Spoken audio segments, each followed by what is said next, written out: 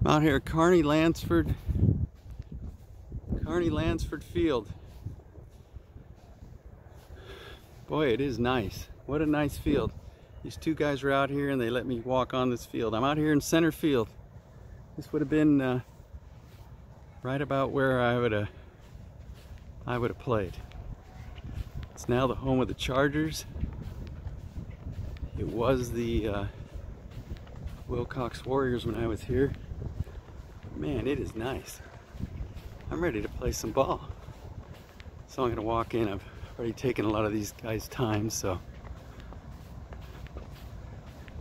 just wanted to show you Carney Lansford, old Carney Lansford Field. Boy, it's a beautiful field. Home of Wilcox baseball.